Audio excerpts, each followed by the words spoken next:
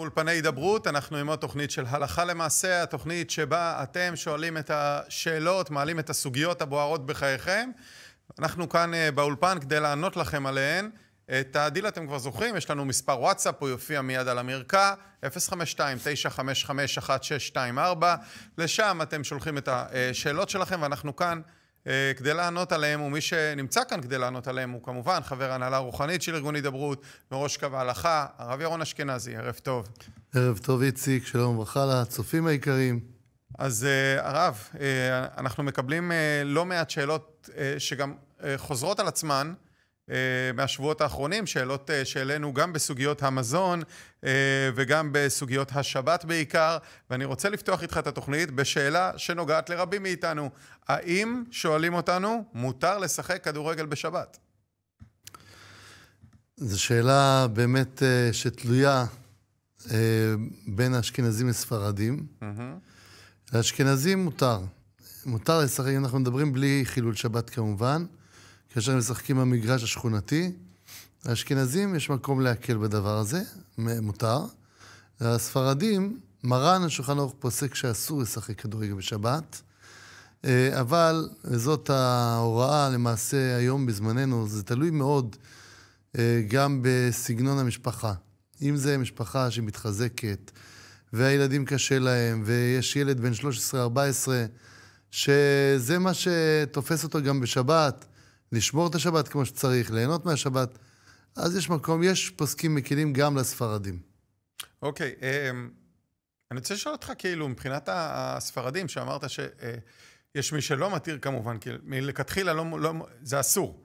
אבל השאלה היא, uh, למה זה אסור? זאת אומרת, מבחינה הלכתית. האם הבעיה היא המוקצה? האם הבעיה היא בעיה אחרת? אם לא משחקים על דשא, אולי אפשר להקל? אז הבעיה כמובן, קודם כל, זה לא העניין של המשחק על הדשא, כי בדשא אין לי עניין לא להשחית ולא, ולא ל, לקצור את הדשא. אם הדשא הוא רגיל, אז זה בסדר גמור, אפשר ללכת על דשא בשבת. אמ, לגבי הבעיה, הבעיה היא מוקצה. למה מוקצה? כי בשבת מותר לי לטלטל דבר שהוא כלי. נגיד כלי שמלאכתו להיתר, לצורך העניין, נגיד שכדור... אם היו קוראים לו כלי, מסתבר שזה היה מוגדר ככלי שמלאכתו להיתר. אין פה איזה מלאכת איסור שאני עושה עם הכדור. אז כלי שמלאכתו להיתר, מותר לי לטלטל אותו מחמל הצל, אם יש לי צורך בדבר, mm-hmm. רק אסור, בלי צורך אסור בכלל. אבל פה, בגלל שזה כלי, אם זה נחשב את זה לכלי, זה מותר. הבעיה היא שמרן, השולחן ערוך פוסק בסימן ש"ח, כדברי השיבולי הלקט, שכדור, או כל דבר שהוא של משחק, מחשבת הצחוק לא הופכת את הדבר לכלי. ואז מילא הכדור נחשב כמו אבן. Mm-hmm. אבן אסור לטלטל גם לצורך. אסור לטלטל. הפוסקים המקלים, אתה עכשיו תשאל למה, למה יש מקלים? אם ככה, אם מרן אומר שזה לא כלי, אז איך מקלים? אז למה? הפוסקים נוקטים, האחרונים שבזמננו, אלו שמקלים בזה, כותבים שמכיוון שהכדור היום הוא נעשה במפעלים מכובדים. וזה לא איזשהו סתם מה שהיה בזמנם, היו לוקחים אה, חבילת אה, סחבות והופכים אותה לאיזה כדור כזה מתגלגל. Mm-hmm. אלא לוקחים כדור, כדור אתה קונה, גם יש כדורים חותמות, יש כדורים אה, חשובים. אתה רואה שכדור היום זה דבר שיש לו חשיבות. ומילא, לכן, לא על זה דיברו הפוסקים, כך אומרים המקלים, שלא על זה דיברו הפוסקים. אה, לכן אני אומר, למבוגרים, ברור שצריך להחמיר בדבר הזה הספרדים. אבל uh, מי שבאמת בתחילת הדרך, או בחורים צעירים שלפעמים צריכים להתפרק, וזה ההתפרקות שלהם והתענוג שלהם בשבת, יש מקום להקל. אוקיי. Okay. אה, uh, יש פה שאלה מעניינת. קודם כל, הודעה בעצם. מישהו כותב לנו שלפעמים היצר הרע משתלט בי, וזה מתפרץ על הבת זוג שלי. איך אפשר להתמודד עם זה? Uh, אולי יש עין הרע? מה עושים? תראה, אני אגיד לך משהו, איציק. אני באמת אה, מאוד מכבד את האיש הנכבד ששואל. כל הכבוד שאתה מודע ל... לחיסרון שאתה צריך לשפר, ואשריך. זה מראה על, באמת על טוהר לב ועל נקיות, אשריך. אבל אה, להגיד שאני כועס בגלל שיש עליי עין הרע, זה לא נכון. אני לא תולה, לא לתלות את זה באחרים, לתלות את זה בעצמי. אני כועס על אחרים כי אני צריך לעבוד על הכעס שלי. איך אני יכול לגרום לעבוד על הכעס? קודם כל, כל דבר שאדם רוצה לשנות, זה עבודה. הוא צריך לעבוד. אז יש אנשים שהכעס שלהם מתפרץ עליהם בגלל שהם אה, פתיל קצר, מה שנקרא. כל דבר אה, הם אה, מתעצבנים. יש אנשים שהם נפגעים, מפרשים את הסביבה אה, כביכול אה, שהיא פוגעת בהם. יש אנשים שהם אה, כעסנים, לא, הם לא כעסנים בטבעם, אבל הם מגיעים לכעס כי הם מצפים שהאחרים ינהגו כמו שהם נוהגים. יש לו לב טוב, הוא עוזר לאחרים, ואז פתאום כשהוא צריך עזרה לא עוזרים לו, ואז הוא אומר, אני עוזר לכולם, מה זה אתם לא עוזרים לי? קודם כל, הוא צריך לצפות, הרבה יותר קל. יפה, אז בשביל ללמוד לא לצפות, הייתי אומר לאותו אדם, לך תלמד איך להתמודד, איך להתגבר על התכונה הזאת. יש אנשי מקצוע מצוינים שמלמדים גם קודם כל את האדם איך להתמודד סביבתית עם בעיות סביבה. יש יועצים נפלאים על הדבר הזה, כמדומני שגם יש פה בהידברות במחלקת נפשי בשאלתי, יש uh, פה יועצים מצוינים שיכולים לתת לבן אדם פתרונות או פירושים, איך לפרש כל מיני סיטואציות, אם קרה דבר כזה ואחר, איך אני מתמודד עם הסיטואציה שנקלעתי אליה. אז קודם כל עבודה פנימית. ספרי מוסר, ספרי מוסר, ללמוד מוסר. באיגרת הרמב"ן אומר, כאשר אדם אה, אה, מגביר בליבו את מידת הענווה, מגביר בליבו את מידת הענווה, כלומר, לדעת ש... אה, אה, לדבר כל דבריך בנחת, ולעשות uh, פעולות שילמדו אותי שאני לא אתפרץ. לדבר כל דבריך בנחת, לראות את עצמי כאילו אני קטן מהשני. איך אני אראה את עצמי כאילו אני קטן מהשני? זה קצת לא... קשה, הרב, אתה יודע, יש תמיד את האגו הזה ש... כן. הכוונה היא שלא שאני אראה את עצמי כקטן, אלא גם על אף שאני אראה, אני רואה את החסרונות של השני, אני אומר, תשמע, הוא בא מכיוון אחר. אני באתי, גדלתי בסביבה אחרת, לימדו אותי להיות בסדר, אז זה, זה לא המעלה שלי.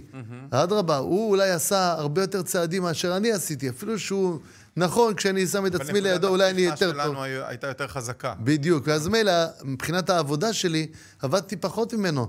אז לכן אני אראה את עצמי כקטן ממנו, לא בגלל שאני פחות ממנו, יכול להיות שאני יכול לייעץ לו ויכול לרומם אותו, אבל זה לא בזכותי, אלא הוא, אולי, אולי הוא עשה יותר. הרמב"ן אומר, כאשר אדם מגביר בליבו את מידת הענווה, אז הוא זוכה להינצל מן הכעס. יש לנו כמה סגולות טובות גם להינצל מן הכעס. אם אדם אומר אמן יש מרבה בכל כוחו, ומכוון באותו רגע, ריבונו של עולם, תציל אותי מהכעס, זה מציל אותו מהכעס. גם כן כתוב שאדם שמסתכל בפני תינוק, mm-hmm. כאשר הוא כועס, אתה מסתכל על התינוק כשהוא ישן, על הרוגע של התינוק, אז אתה ניצול מן הכעס. ועוד כל מיני, יש כל מיני... זה בית ספר שראיתי שבכניסה, ממש בשער, אה, החליט המנהל לשים משפט לתלמידים, משהו שמלווה אותי, משפט נהדר, והוא כותב להם שם, והץ נא לכת. כל בוקר כשהם נכנסים לבית הספר, הם רואים את השלט, ומה שנקרא, צריכים להוריד את העיניים. יפה מאוד. כן, אז, אז אתה יודע, זה מתחבר בדיוק למה שאמרת, הרב, לאותו עניין של, אה, לאותו עניין של הצניעות, לראות את נכון. האחר, כאילו אתה תמיד יותר קטן ממנו, וזה... לא שאני, לא, אני לא צריך להרגיש את עצמי כקטן, אלא להגיד, זה שיש לו את החסרונות, הוא בא ממקום אחר, הוא היה במקום אחר. יכול להיות שהוא עבד הרבה יותר ממני, הוא הגיע למדרגה פחותה ממני, אבל הוא עשה יותר קילומטראז' בעבודה על המידות. אוקיי, אז הנה עוד שאלה, גם כן שאלה מאוד, אה, מאוד אה, חזקה, מאוד קשה גם אה, לדעתי. יש פה מישהו שאומר שהוא מתחזק בתורה, אבל קשה לו להאמין בתורה שבעל פה. איך עושים את ההבחנה הזאת ומבינים שהתורה והתורה שבעל פה, פה אחד הם? תראה, זה, איציק, השאלה הזאת היא שאלה רחבה מאוד. מאוד מאוד. זה ברור לנו, כל אדם שהוא אה, בדק, ברור לו מעל לכל ספק שכשם שיש תורה שבכתב, יש תורה שבעל פה. ואני אתן לך דוגמה הכי פשוטה והכי קלה, לפני שאני אתן את העצה האמיתית, הכי פשוטה. אם נגיד עכשיו דוגמה כתוב, חג הסוכות תעשה לך שבעת ימים. מה זה סוכות? מה זה? Mm-hmm. איפה יושבים? בסוכות תשבו. כתוב בסקת. אולי תקרא לזה סיכות, למה אתה קורא לזה סוכות? מי אמר שקוראים לזה סוכות? זה תורה שבעל פה. ולקחתם לכם פרי עץ הדר, כפות תמרים, ענף עץ אבות וערבי נחל ושמחתם, מה אני עושה עם הלולב? מה אני עושה? מי אמר שזה לולב בכלל? מי אמר שזה אתרוג בכלל? מי אמר ש... שצריכים לנענע? זאת אומרת, לא. מעבר לתורה שבכתב, התורה שבעל פה אה, באה ליישם... חייב הלכה פירוש. למעשה, מה שנקרא. חייב פירוש, כן, חייב פירוש. ליישם את הדברים. אז אה, לא שייך להגיד שהקדוש ברוך הוא הוריד, אם אתה מאמין בתורה שבכתב, ואתה מאמין שהקדוש ברוך הוא הוריד משהו, אז אתה, כל מצווה שאני אגיד לך, מצוות תפילין, והיו לטוטפות. מה זה טוטפות? בין עיניך, וקשרתם, את מה? לאות על ידיך. כלומר, הרב, מה שאתה אומר זה שמי שמאמין בתורה שבכתב, אבל לא מאמין בתורה שבעל פה, בעצם לא עושה שום דבר, כי כמעט כל המצוות תלויות בתורה שבעל פה. בדיוק. ואז זה, עכשיו נבין מה קרה עם כל הרפורמים והדברים האלה, שהם פשוט, אה, הכל בסדר. כאילו, התורה, כתוב בה את השורשים. התורה שבעל פה היא הפר- היא המפרשת. אבל אני חייב לומר, איציק, וזו ההמלצה הנכונה והטובה ביותר לשואל הנכבד. יש ספר נפלא של הרב אהרון לוי, מערכים. הרב אהרון לוי, ספר שנקרא אמ, לא בשמיים היא. זה ספר נפלא, קר- קרס, מאוד מעמיק, שאחרי שתקרא את הספר הזה, אני מבטיח לך שאתה תרוץ ברחובות ותגיד, יש אלוקים ויש תורה שבעל פה. לא, אין, אין שתי אופציות שם. אופציה אחת ויחידה, יש תורה שבעל פה. טוב, מעניין. הרב, אה, אנחנו ממשיכים. יש פה שאלה. אה, מישהי כותבת לנו, אה, שאלה בהלכה, התחלתי לאסר כספים לא מזמן, רציתי לדעת האם אני צריכה לאסר גם על העבר. כלומר, זה עומד על משהו כמו עשרת אלפים שקל שהיא חייבת, או לחילופין, איך אפשר לכפר על זה במידה ולא לא מאסרים. אני הייתי מציע לאותה אישה שתסתכל מכאן ולהבא. אם יהיה בעתיד, ירווח לה והיא לשלם את העשרת אלפים שקלים הללו, תבוא עליה ברכה, אדרבה, זה צדקה והכל בסדר.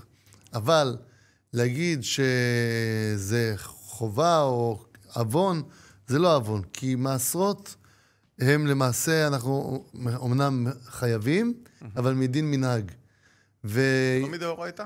זה לא מדאורייתא, כי זה לא תבואה ודגה מתירוש יצהר, וגם בזמננו לא בטוח שבכלל הדיני מעשרות הם מדאורייתא, אז לכן, בכל אופן, זה דיני מנהג. לכן, אבל זה חובה.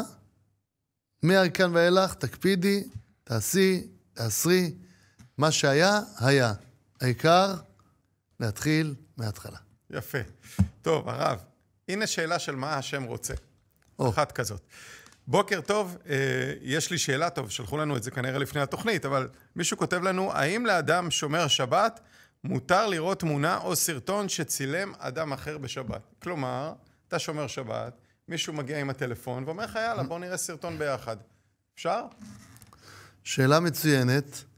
אמ, אז כמו שאתה אומר, אם אנחנו נלך על מה השם רוצה, אז ברור, התשובה היא ברורה. אבל בואו נלך להלכה למעשה. אנחנו מדברים על ההלכה למעשה, וגם מבחינה הלכתית יש בזה בעיה. ומה הסיבה? כי מבחינה הלכתית, כאשר יהודי עשה מלאכה בשבת, אמ, אז בפשטות, אם הוא עשה את זה אמ, בכוונה במזיד, זה אסור לאחרים עד בכדי שיעשו במוצאי שבת. מה זה בכדי שיעשו? שיעור של הזמן של הבישול. הבעיה בתמונות האלה, הרב אלישיב כך כותב, בכמה מקומות, שבתמונות וסרטונים יש יותר בעיה. למה יש יותר בעיה? מכיוון שאת התמונה של ה- אותו עלייה לתורה של הבר מצווה ש... שצילמו, או סרטון שצולם בשבת, אי אפשר לצלם במוצאי שבת. אז אין פה בכדי שיעשו, ממילא זה אסור לעולם. אוקיי. לכן, צריך אבל להתרחק בכל מהדבר זאת, הזה. אה, לדעתי, הוא כותב כאן, האם מותר לראות אה, תמונה או סרטון שצילם אדם אחר בשבת? כלומר, הוא מראה לו את זה ביום חול, אני מניח, זאת הכוונה. זה אסור, אבל הסרטון אסור. עצמו אסור. הסרטון עצמו אסור, התמונה עצמה אסור, כי היא צולמה, היא צולמה בשבת. אוקיי. אמ, יש, אה, עוד פעם, אם זה נעשה על ידי גוי, כאן יהיה מותר. כאן יהיה מותר, במקרה כן. של גוי. טוב, אנחנו ממשיכים. אה, מישהו כאן כותב לנו שהוא הניח תפילין של ראש, ואז הוא שם לב שהוא הניח אה, תפילין של יד, מבלי להוציא אותה מהקופסה. אגב, ראיתי אה, סרטון מאוד מעניין, או פוסט מאוד מעניין, שפרסמנו גם בעמוד הפייסבוק שלנו, של סמיון גרפמן, אה, חוזר בתשובה שהתחיל, לש... אדם מפורסם שהתחיל לשמור שבת. אה, הוא הניח תפילין של ראש בפעם הראשונה עם הקופסה. והוא צילם את זה והראה, אמר, תראו מה קרה לי בפעם הראשונה. אה, טוב, אתה יודע, זה חלק מתהליך התחזקות, לטעות.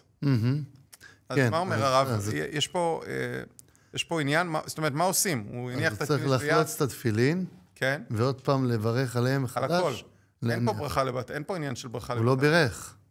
אה, הוא בירך אה, עם ה... כן, זאת אומרת, הוא הניח תפילין של ראש, מן הסתם, הוא שם את היד, שם את הראש, ואז הוא שם לב שהוא הניח תפילין של יד מבלי להוציא מהקופסה, אם הוא עוד לא דיבר, אז שיניח מהר את התפילין של יד בלי ברכה. בלי ברכה. כן, כלומר, אבל... להוציא, להוציא, למשוך ול... בדיוק. אבל אם הוא דיבר, אז אם הוא כבר בירך על התפילין של הראש, וחוזר חזרה, אה, לא משנה. אם הוא כל עוד שלא דיבר, על תפילין של... אם הוא בירך על תפילין של ראש, אז זה קצת, כן, זה לכאורה כבר בעיה. בעיה. יש פה כבר הפסק. אז צריך לחזור ולברך. אבל אם הוא לא בירך על התפילין של ראש, כמו הספרדים, שלא מברכים על תפילין של ראש, אז במקרה כזה, הוא, כל עוד שלא דיבר, יכול לחזור מהר ולהניח. אוקיי, טוב, ממשיכים, הרב. אה, כותבים לנו כאן, האם אה, צריך לתת 15% מעשר, למרות אה, שיש לי מינוס בבנק, או לשלם רק מעשר? לא כל כך מבין את השאלה, איציק. לדעתי מישהו שהתחייב כנראה לתת קצת יותר אולי. אז כולנו יודעים שההתחייבות האמיתית היא מעשר בלבד. זאת ההתחייבות, וכמובן מי שרוצה לתת חומש, זה מצוין, זה סגולה לעשירות. אדם שנותן חומש, אנחנו מאמינים, בני מאמינים שזה ייתן לבן אדם אה, אה, אושר. אבל חובה אין פה. אין פה חובה, החובה היא מעשר. זה החובה. יפה, טוב, הרב, אה, ברשותך, אנחנו רוצים רגע להפסקה קצרה לטובת הצופים שלנו, אתנחתא, מה שנקרא. מיד אחריה, ממשיכים עם השאלות שלכם, הנה.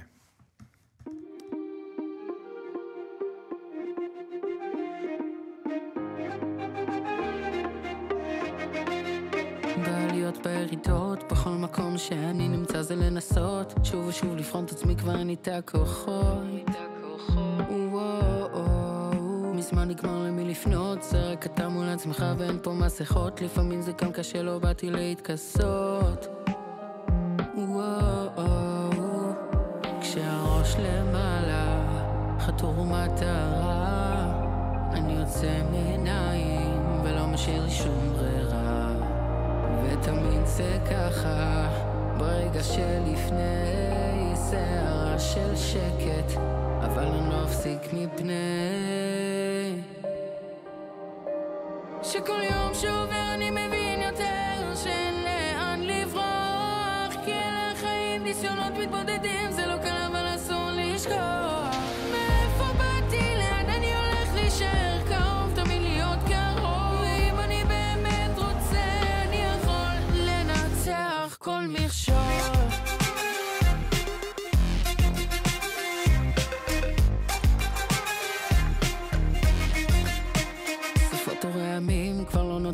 שאני אשמור בפנים אסור מותר, פשוט הולכים ונלחמים. וואו, מודה לאלוקים על כל מה שעשה ויעשה לי בחיים. תפילה זה כמו תרופה ללב, תקנה לי פה כשהראש למעלה, חתור מטרה,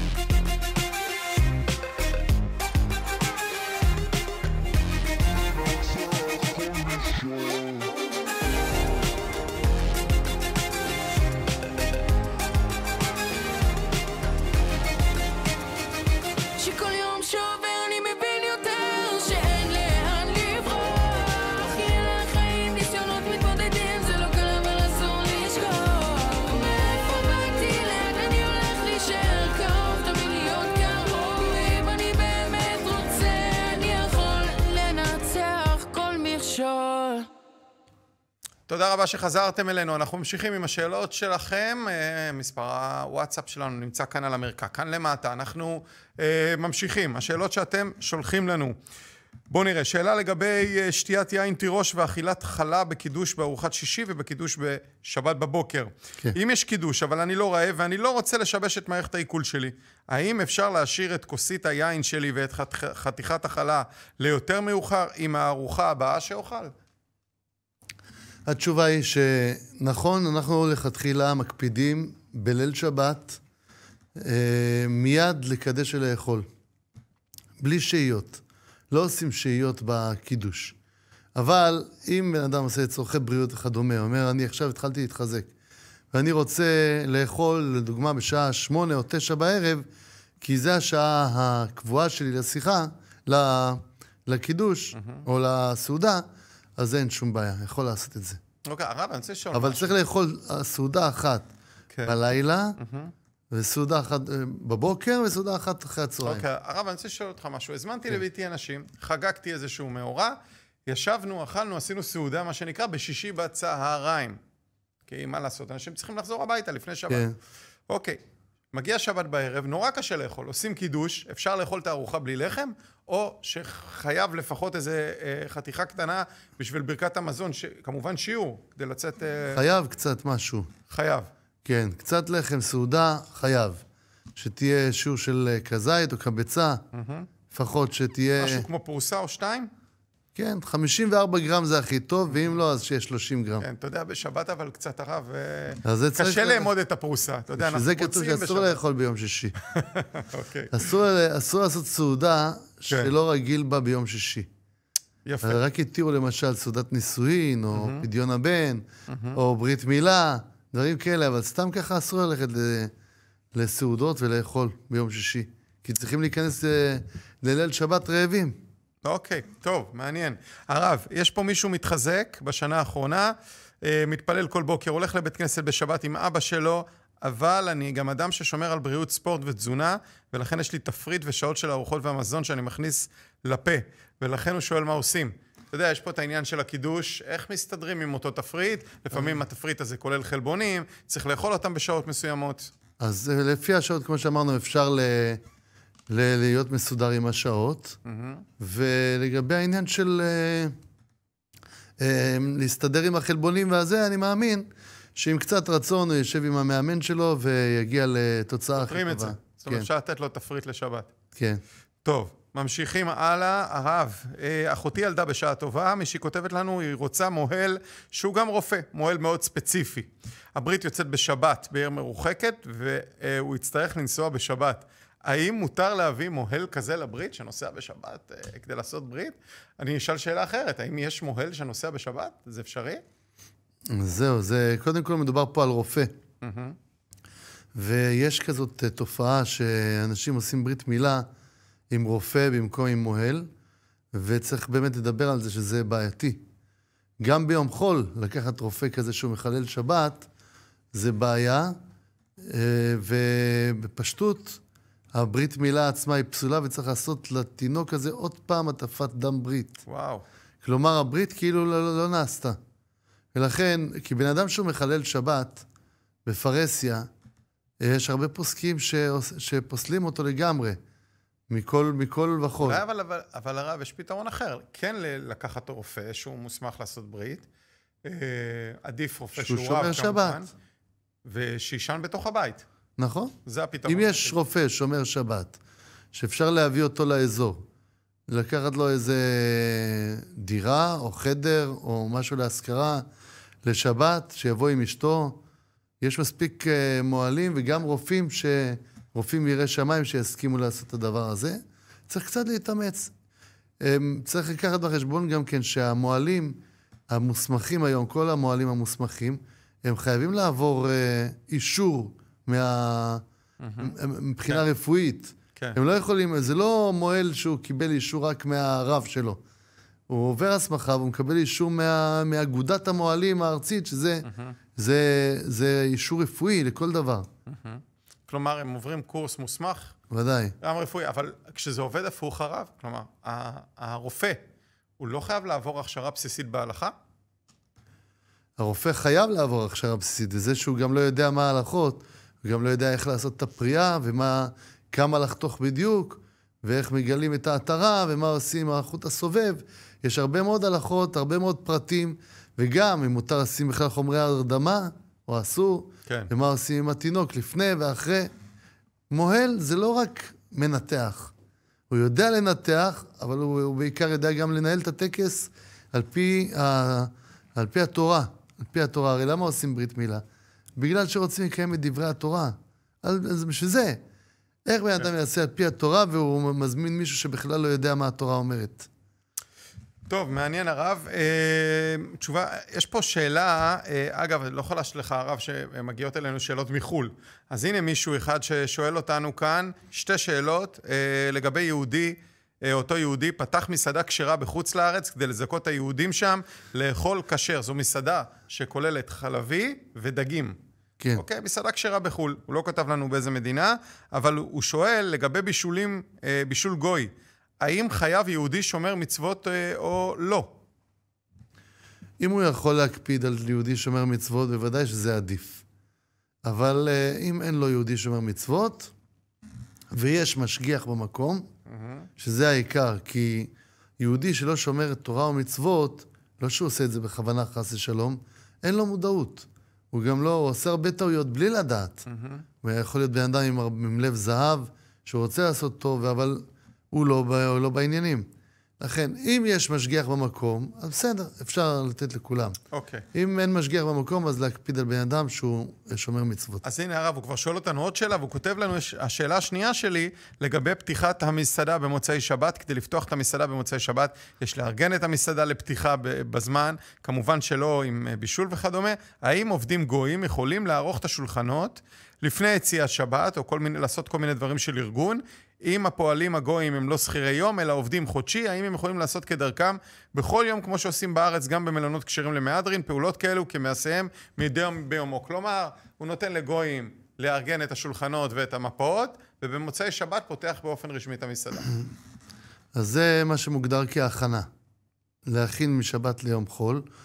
אה, צריך שיהיה פה צורך מצווה, או שיהיה פה צורך אה, הפסד גדול. אם יש פה הפסד מרובה, אז אה, ב- ב- ב- אם הוא לא יעשה את זה, אז זה משהו אחר. אבל אם אה, זה רק עניין של לחסוך קצת זמן, עניין של לחסוך חצי שעה או משהו כזה, אז התשובה היא שאסור. אוקיי. טוב, לפעמים התשובות, הרב, אני חייב לומר בהלכה, הן לא תמיד נוחות לנו, מה לעשות, אבל כן. אף אחד לא אמר שקל להיות יהודי, נכון? נכון. זה, קל, זה לא קל, אבל זה גם uh, כיף. כן, אתה יודע, הכי כן. כיף זה לשמוע את התשובה שנוחה לך בסוף, ואנחנו לא פה בשביל זה. אנחנו ממשיכים. האם אה, מותר לאבלים בימים של השבעה לקרוא תהילים? אם הם יתבטלו מה... במקום... Uh, היום בבית האבלים יש הרבה מאוד בטלה. אם הם מתבטלים, במקום זה מדברים פוליטיקה או מסתכלים uh, סרט, אז זה לא שאלה, ברור שצריכים לקרוא תהילים ושיקראו תהילים. אם האדם אומר, תשמע, או שנקרא תהילים או ללמוד הלכות אבלות, אז שילמד הלכות אבלות, ועדיף שלא יקרא תהילים. זה הכל תלוי בעניין הזה. טוב, עוד שאלה אחת לפני שאנחנו יוצאים להפסקה. שמעתי את כבוד הרב בעניין השאלה, האם זה גזל לא לשלם לחברת האוטובוס אם המכשיר לא עובד. נכון, הייתה לנו שאלה כזאת, מישהו שנכנס, רוצה להעביר את הקו, הרב-קו, המכשיר לא עובד, ואומרים לו, תיכנס בחינם, כן, מה כן. שנקרא. אז הוא אומר, זה לא מדויק, כי אין בדיוק חוק כזה, אה, אה, לפחות לא ראיתי, וזה גם ממש אה, על דעת הנהגים, שזה כנראה נוח להם פשוט להמשיך בנסיעה. מה שהוא אומר, כנסו, מה שנקרא, פחות אכפת להם. זה קרה לי באופן אישי לפני יותר משנה במודיעין, שאלתי את הנהג והוא אמר לי, או לשלם בחברה או בנסיעה הבאה לשלם פעמיים, אז ממש צריך לבדוק לעומק ולדעת לפרטים מדויקים. כלומר, הנהג אומר לך, עבור, אבל אתה צודק, צריך הוא צודק. בפנים להפנים שאתה כן צריך לשלם את הכסף. בהחלט, לא, לא, אני לא אומר שצריך להפנים, מה שאמרנו בפעם הקודמת בהחלט, שצריך לברר את החוק. נכון. והחוק הוא הקובע, ו... אז תודה רבה על ההערה בהח- בהחלט. ברור שאנחנו לא מתכוונים, אם, אם, אם החוק אומר שצריך לשלם, אז צריך לשלם. אמ, ו, ולכן נבדוק את החוק. כן, או מה השם רוצה. לשאול את זה, הכי קל. הסתדרנו. אשמח... אה, אה, השם לק- רוצה שידעו את החוק במקרה הזה, כי החוק קובע. כן, זה נכון. אשמח לקבל רעיונות בכתב כדי להצליח לחזק בדרך של חוכמת התורה. או, זה... אז לא בכתב, ניתן לו בעל פה. זה מה, הוא רוצה לדעת לתורה. איזה חידוש, משהו? כן, כנראה, רעיונות, אה, כן, כדי להצליח בדרך של חוכמת התורה. איך אפשר להתחזק, לחזק בדרך של חוכמת התורה. מעניין. כנראה הוא רוצה כאילו לחזק אנשים ש... נכון. שיבינו שהתורה היא, היא מלאה בחוכמה ומלאה ב... יש ספרים? אה, ב- ב- אז קודם מניח? כל, אה, יש הרבה ספרים שמדברים על, אה, על חוכמה. יש ספר נפלא של הרב בן איש חי, ספר שנקרא אמרי בינה. שם יש הרבה חידות מעניינות.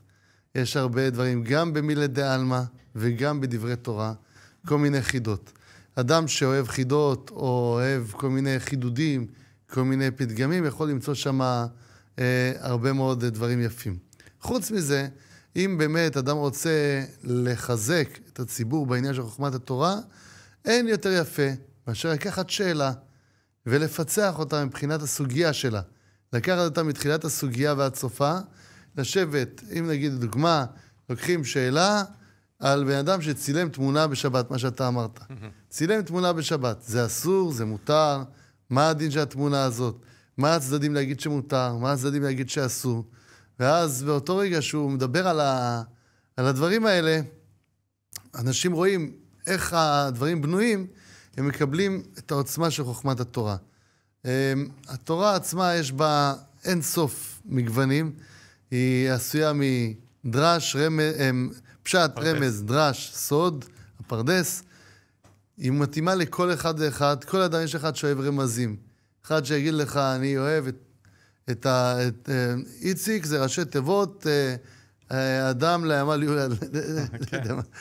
הוא אומר לך את הראשי תיבות של השם שלך, מה זה אומר. או אחד שיגיד אה, שאיציק זה רומז על אה, יצחק, כן? כן. זה כל מיני... לא רומז, זה יצחק. כן, נכון. אני אומר סתם, שאנשים יבינו את הנקודה, יש דברים שהם רמזים, יש דברים שהם פלפולים, יש דברים... ייקח מעצמו, אם הוא רוצה לקחת ספר של רמזים יפים, יש אה, את. הספרים... המהפך, המהפך. ספר שמביא לנו את, את חוכמת התורה, מה שנקרא, זה אין מה לדבר, ספר נפלא, מהפך, ארכיאולוגיה תנכית, מדברת גם על העניין של התורה. של אפשר לקחת משם. רעיונות, כן. אפשר לקחת מהספרים כמובן על פרקי אבות, קהלת וכדומה, יש שם הרבה מאוד רעיונות מאוד חכמים, עם הפירוש של הרב זמיר כמובן, יש אה, דברים נפלאים. טוב.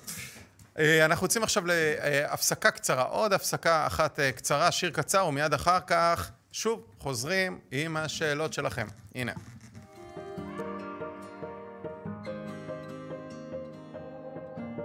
עוד לעוד ספר את הסיפור שלך, יש לך אחד יפה. גם כל הכאבים והחולשות שלך, הפכו אותך אחד כזה, שלא מפחד ליפול, שלא מפחד לגדול. תו לתו נגן את הניגון שלך, יש לך אחד יפה. תרקוד כאילו העולם שר בשבילך, תראה הלב כבר מתרפא, ורק אל תפחד ליפול, רק אל תפחד לגדול. כל עוד לא הפסקת לחלום, אתה מנצח, אין מחר לחיות היום. תחזיק רק להיום, כל עוד לא הפסקת לחלום, אתה מנצח. תעוף הכי רחוק שאתה יכול, כי יש בך הכל.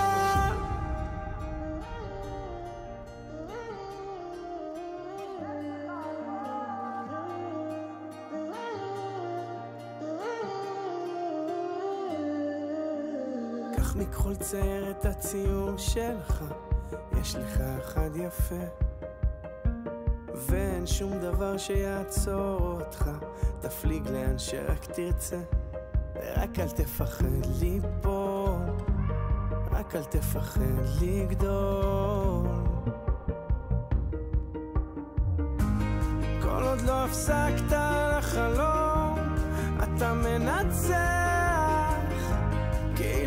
מחר לחיות היום.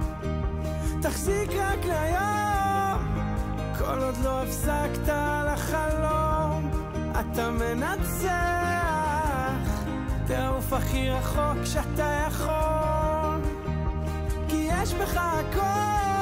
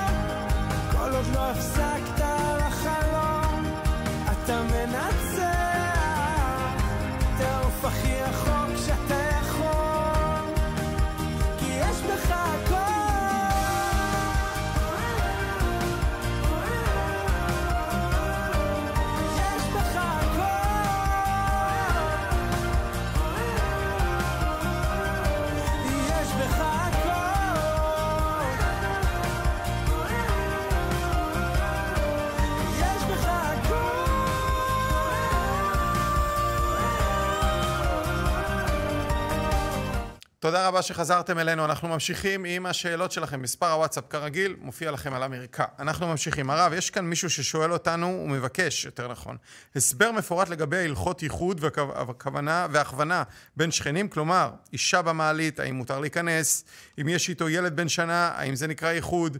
אה, הוא ישמח, אה, הוא כותב לנו כאן לפירוט כללי של אה, הלכות האיחוד אה, בין שכנים, מה שנקרא. כן, כמובן שאי אפשר להקיף את כל הלכות ייחוד בתשובה של שתי דקות, אבל בגדול כך, אם אנחנו מדברים על מעלית, במעלית אין בעיה של ייחוד. כי המעלית כל רגע היא נפתחת ונסגרת, אה, אין שיעור זמן ש, של ייחוד, שיעור זמן של ייחוד זה שלוש דקות, אז מילא אין מצב שהמעלית היא יותר משלוש דקות, אה, ואין בעיה של ייחוד. מותר בעיקרון להיכנס עם אישה למעלית, כאשר כמובן יש מספיק מקום לעמוד במעלית. אם אני נמצא במרכז קניות, לצורך העניין, אני אומר את זה דווקא כי זה מצוי גם הרבה בריכוזים חרדים. בן אדם נמצא במעלית, נמצא לבד, נכנסת אישה עם עגלה של קניות, הוא לא צריך לצאת. אם uh, בן אדם נמצא בבניין משרדים, נכנסת אישה למעלית, הוא עכשיו צריך לעלות לקומה 15 והיא לקומה 12, הוא לא צריך לצאת. אין פה שום אה, עניין של ייחוד. אה, כנ"ל, גם בעניין של, ה, של הבניין, אין בזה ייחוד. צריך לדעת כמובן, ה-distance וה, והמרחק בין גברים לנשים זה דבר שהוא בריא, וצריך לשמור אותו. ללא קשר, גם, גם אם שכנה מאוד נחמדה ומאוד לבבית ומאוד אה, זה, אפשר לענות בנחמדות, אבל עם distance. לא אומר להחמיץ פנים, חס ושלום. לא להחמיץ פנים, אפשר להאיר פנים, ושהשני יבין שבכל אופן יש פה דיסטנס. לא, לא אה, יותר מדי אה, זה. עכשיו, לגבי העניין של ילד בן שנה, ילד בן שנה הוא לא שומר, לא. הוא לא נחשב לשומר. צריך שיהיה לפחות, ילד יכול לשמור מגיל שהוא מבין טעם ביאה, ואינו מוסר עצמו לביאה. זה מתחיל להיות בגיל, בסביבות גיל חמש, בזמננו חמש, שש. אוקיי. שאז אה, אם נגיד הוא נמצא בסיטואציה מסוימת והוא הוא גם מזהה את הסיטואציה והוא גם יכול לדבר עליה אחרי זה, אז מפחדים מאותו ילד. אוקיי.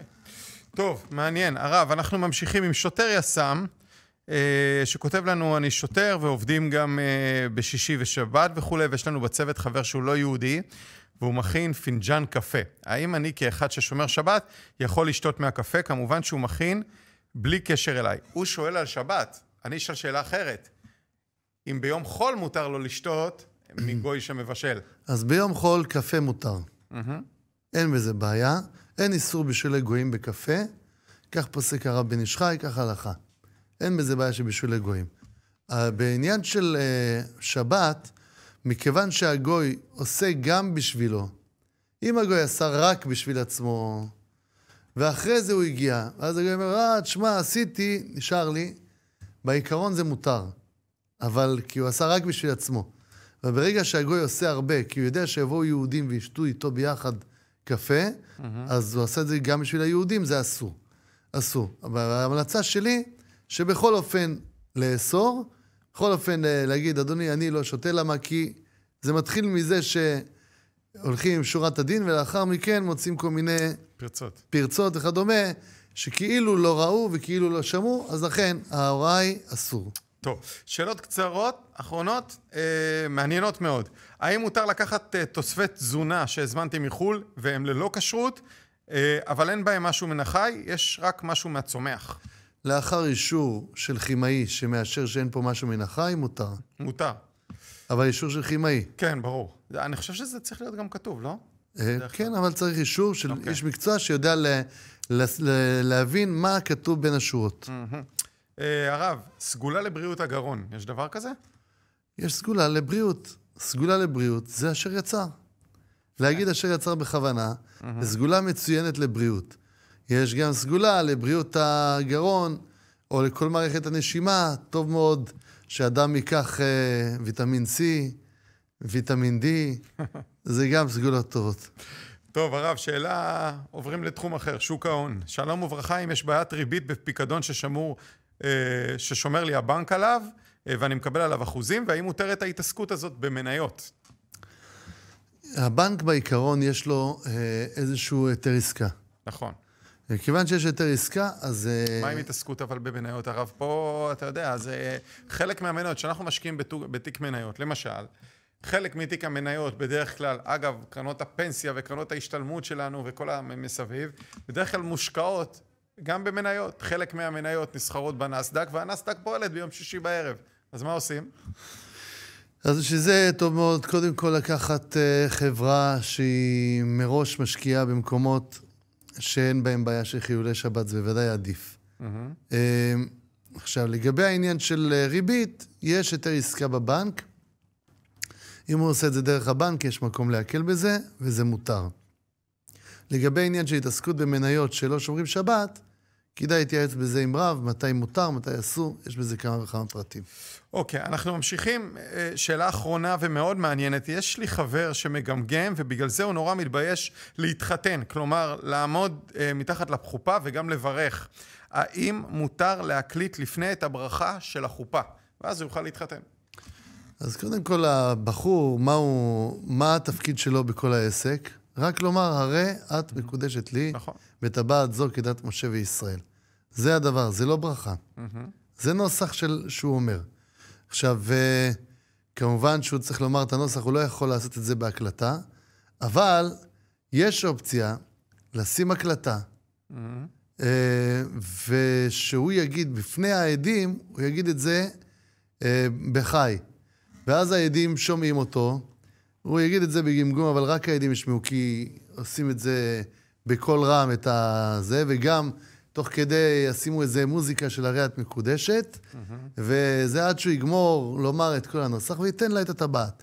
לחילופין, אפשר לומר, אם אין ברירה ואין מצב ואין כלום, לפעמים יש מצב שגם כשהוא נותן לה בשתיקה וכוונתו לשם קידושין, זה, זה יועיל. אבל פה צריך תלמיד חכם, רב, שנמצא במקום, שידע להדריך אותם, מה לעשות ואיך לעשות. בקיצור, יש פתרונות, איציק. יש פתרונות. יש פתרונות. אל תגיד שבגלל זה אתה לא רוצה להתחתן. אין דבר כזה. הרב, אני חייב... אתה יכול להתחתן, ואתה תהיה תחת החופה. בעזרת השם, פתרונות יבואו ויגיעו. יפה, הרב, אני חייב, אני יודע שאמרנו שאנחנו מסיימים, אבל עוד שאלה אחת קצרה, אולי אפילו בכן ולא. האם מותר, אה, או אכן לא רצוי, לישון כשהרגליים הם לכיוון הדלת? המיטה של הבן שלי במצב שהרגליים לכיוון הדלת, האם לשנות אותה? אגב, אני לא חושב שאנחנו צריכים לדעת באיזה כיוון הדלת. זאת אומרת, מזרח, מערב, זה משנה? אז הדלת, למעשה זה לא כל כך משנה. היום בזמננו, יש דעות בפוסקים אם להתפלל לצד מזרח, או לצד, אה, האם לישון לצד מזרח, או לצד צפון. יש בזה מה הכי מחלוקת. מומלץ? אה, יש בזה דעות לכאן ולכאן, ולכן אנחנו לא מקפידים בזה היום. לא מקפידים. בפרט אם זה לא חדר זוגי, חדר של ילד, אה, אין בזה בעיה. אה, כמובן שמצד המזוזה צריך להקפיד שהמזוזה תהיה מכוסה כדת וכדין, כי לפעמים נגיד בן אדם אה, מתלבש או משהו כזה, נמצא בחוסר צניעות, אז שלא יהיה בפני המזוזה. יפה, אנרגיות, עניין של אנרגיות גם. לא יודע, פאנק שווי, יש תורת ישראל.